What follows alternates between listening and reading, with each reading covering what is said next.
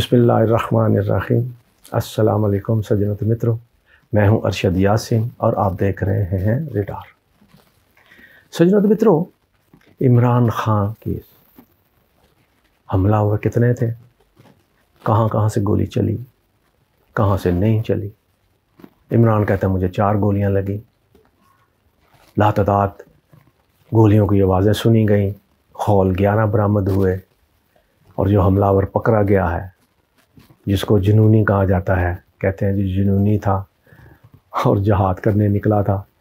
गुमराह हो गया, गुमराह करने वालों को मार दिया और वो वो उसकी कैपेसिटी कितनी थी कि वो नाइन एम एम जैसे पिस्टल पर मारने आया और आनंद फानन मारने आया। कैसे मुमकिन था? बहुत सारे सवाल हैं जो उठ रहे हैं, लेकिन आज हम, इस पर तो हमने पहले भी बात की आज हम ये बात करते हैं, क्या ये जो दुबोचा गया जिसके हाथ में आपने पिस्टल देखी, ये और जिसने ये वीडियो जिनकी लीक हुई, क्या ये एक ही आदमी है? या बदल दिए गए हैं? कपड़े तो बदले हुए हैं, क्या बंदे बदल गया है? इस पे भी बात करते हैं और साथ साथ आज हम इस बात का भी आपके सामने इंकशाफ करते हैं। कि जिस तरह लोग कहते हैं कि ये मनसूबाबंदी से सारा कुछ हुआ, आज मैं एक वीडियो और एक तस्वीर जो वायरल हुई है सोशल मीडिया पे, वो आपके सामने रखूँगा, जिसमें ये बात सामने आएगी कि ये इमरान खान पर कातलाना हमला आनंद फानन नहीं, सोची समझी साजिश थी। और इसका किसी मीटिंग में फैसला हुआ, और फिर उसके बाद जो बड़ी दबंग तकरीर कर रहा था। ये इम्तियाज़ बागरी है कौन? इम्तियाज़ बागरी, जिसने बड़ी अहम तकरीर की थी। उसके साथ जो तस्वीर वायरल हुई है, उसमें आप इस हमला आवर नवीद को साफ़ देख सकते हैं। वो भी मैं आपके सामने रखता हूँ कि वो वहाँ कर क्या रहा था। और अगर अजान उसने सुनी और उसी वक्त वहाँ पर वीडियो जो लॉन्ग मार्च में गाने लगे हुए थे तो वो मुश्किल हो गया। अगर ऐसा ही है तो पिस्टल कहाँ से आई? यहाँ क्या कर रहा था? दो दिन, तीन दिन पहले जो इजलास हुआ था, वहाँ क्या कर रहा था? और कहते हैं कि कंटेनर में तो बाकायदा पाँच वक्त की, जब जब लॉन्ग मार्च चलता है, उसमें जो टाइमिंग होती है नमाज़ों के, उसमें तो बाकायदा अजान दी जाती है। अजान होती है और कंटेनर में लोग नमाज़ भी अदा करते हैं। ये मैं मुझे बताया गया है। तो फिर फिर ये क्या मसला?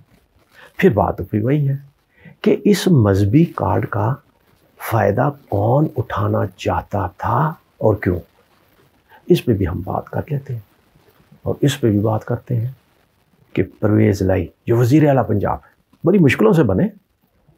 अब बेबस क्यों हैं? अब पूरा हमला मुतल कर दिया, लोग भी मुतल कर दिए। कि एक वीडियो लीक कैसे हुई? अब तो तीन हो गई हैं जनाब। परवेज़ लाई साहब, इतने बेबस क्यों हैं? सजनों मित्रों, ये सारी चीज़ें आपके सामने रखता हूँ और सबसे पहले मैं इस इम्तियाज़ बागरी की बात करता हूँ। मकामी सदर हैं ये पाकिस्तान मुस्लिम लीग नून के गखर करके इलाके के। एक वहाँ पर शादी हाल में एक इजलास मनक़द किया जाता है जिसमें मकामी रहनमा मुस्लिम लीग नून के इकट्ठे होते हैं।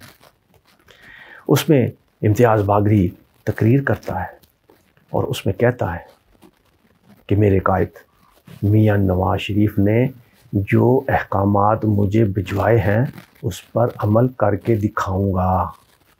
अब ये अहकाम आए क्या थे और किस पे उसने अमल करने की बात की है?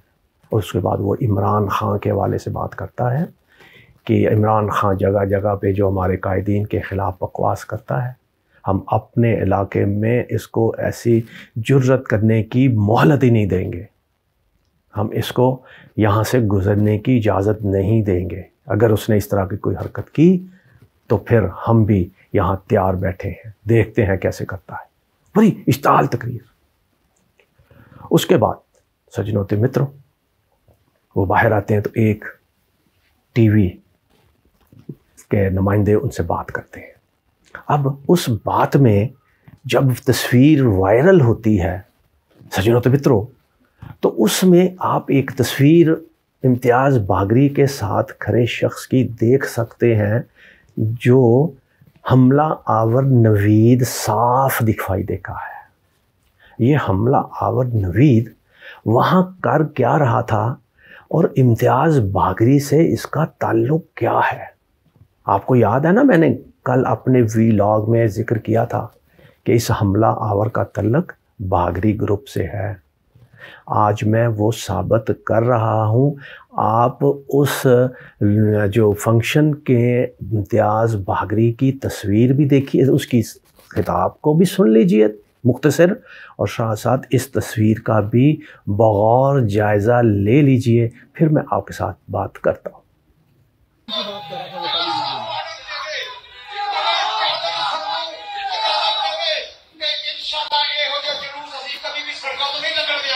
ਸਾਰੀ ਕਾਮ ਇਤਿਆਦ ਜਿਸ ਤਰ੍ਹਾਂ ਦਾ ਵੀ ਸਾਨੂੰ ਆਰਡਰ ਦੇਵੇਗੀ ਇਨਸ਼ਾਅੱਲਾ ਉਹਦੇ ਤੇ ਅਮਲ ਦਰਾਮਦ ਕਰਾਂਗੇ ਔਰ ਅਸੀਂ ਇਹ ਜਿਹੜਾ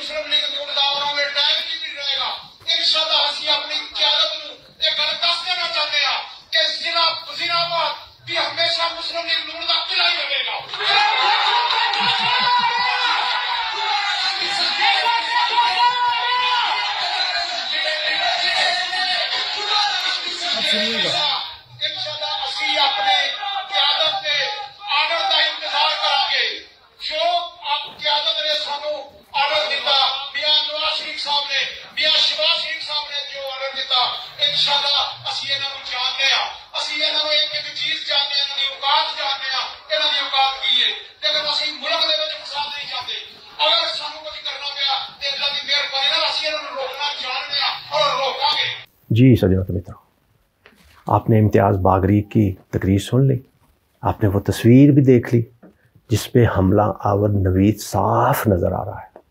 अब इस सारे मामले को दिखाने का वाहद मकसद मेरा ये है कि राना सनाउल्ला और वफाकी वज़रा, जो ये बयानियाँ लेकर आए थे पहले दिन से ही कि जनाब, ये तो मजहबी मामला है और वो जो है, वो मजहबी जो है, वो इश्ताल उसने मुश्तिल हुआ और उसने आके ये कर दिया और इस पे बाजिद हैं कि ये मजहबी मामला है। अब आप देख लीजिए कि अगर मजहबी मामला था, आनन फानन ही हुआ था तो फिर यहाँ क्या कर रहा था तीन दिन पहले? इम्तियाज़ बागरी और उस रहनमा के पास जिसने कहा कि हम देख लेंगे और कायद के हुक्म की तामील होगी। इमरान को देखेंगे कैसे यहाँ से निकलता है। ये सारी चीज़ें आपने सुन ली ना?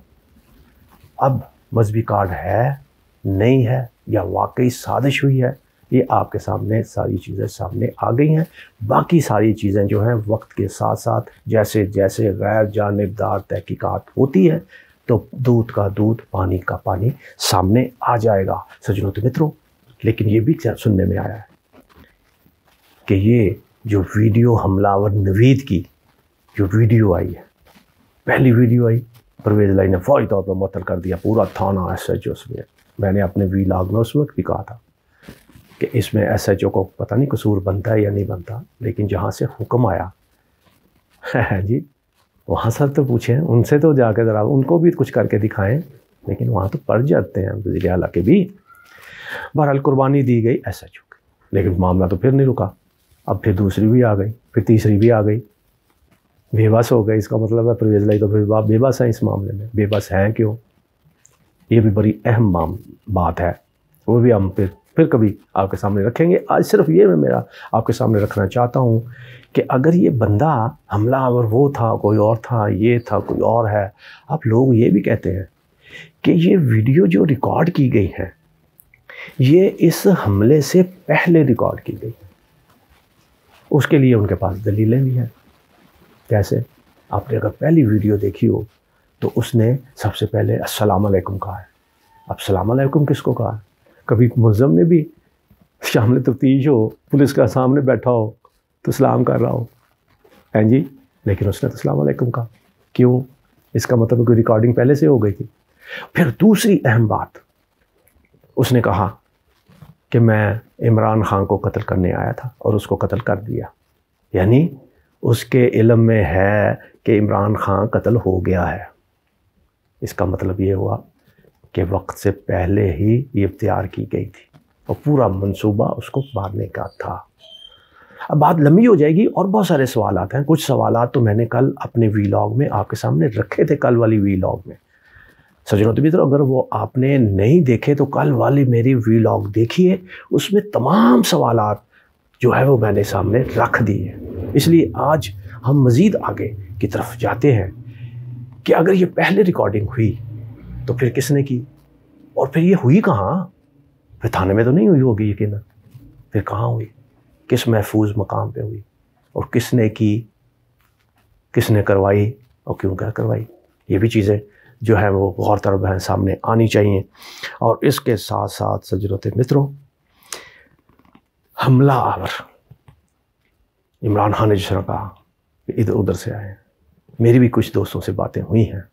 उन्होंने भी कहा है कि ये जो हमलावर जो सामने जिसका ज़िक्र किया जा रहा है, ये इसका मामला ही नहीं है। इसकी तो एक गोली चली बात दूसरी तो चली नहीं। और फिर ये कोई बहुत माहिर तो था नहीं निशानाबाज कि जिसने नाइन एम एम पे पे जनाब सीधा किसी को हम हमला कर मारना था और सीधा उसको टारगेट भी कर लेता। ऐसा तो नहीं था।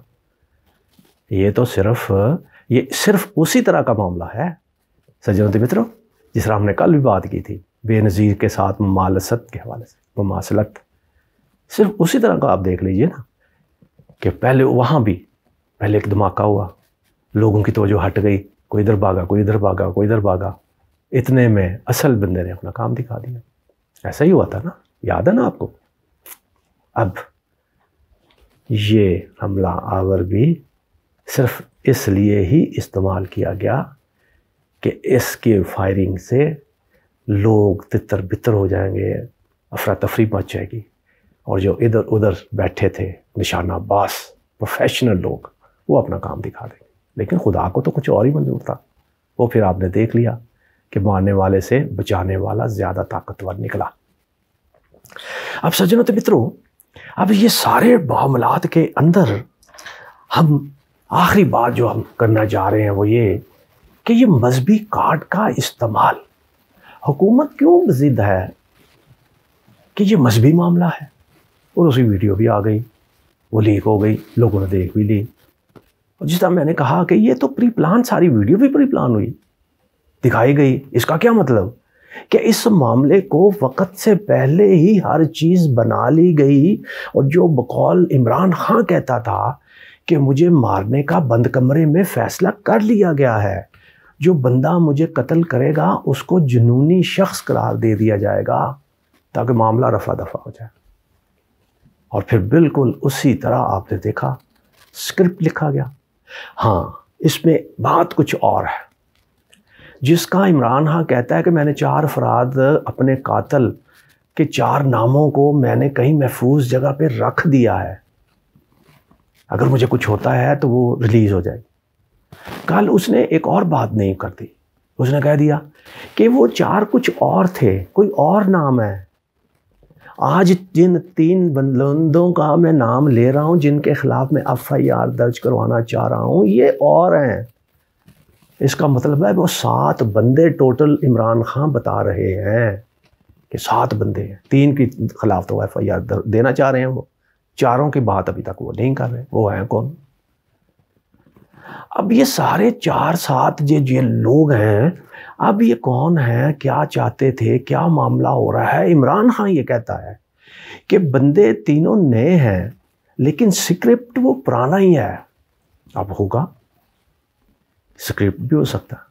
लेकिन ये सारी चीज़ें, सज्जनों तो मित्रों, क्या सराइयाँ हैं? हुकूमती वजरा जो कह रहे हैं, वो भी क्या सराइयाँ हैं? पी टी आई के लोग जो कह रहे हैं, वो भी क्या सराइयाँ हैं? इसमें सिर्फ़ इमरान खां के दो तीन जुमले काबिल गौर हैं। जो आइन और कानून के मुताबिक मैं दुरुस्त समझता हूँ कि चार गोलियाँ लगी, दो एक उधर से आया, एक उधर से हमलावर ने किया हमला, एक उधर से किया, ये ये चीज़ें अपनी जगह पे। लेकिन किस, किसने गोलियाँ चलाई कौन कौन जिम्मेदार था, ये हंड्रेड परसेंट कन्फर्म नहीं है। ये तफ्तीश के बाद होगा। ये इमरान को शक हो सकता है कि ये ये ये ये लोग। लेकिन ये ये सौ फ़ीसद दुरुस्त नहीं कहा जा सकता। इसलिए इसकी तफ्तीश ज़रूरी है। तफ्तीश के बगैर कुछ भी कहना जो है वो क्या राइयाँ हैं। सजनत मित्रों, अपना बहुत ख्याल रखिएगा। पाकिस्तान जिंदाबाद।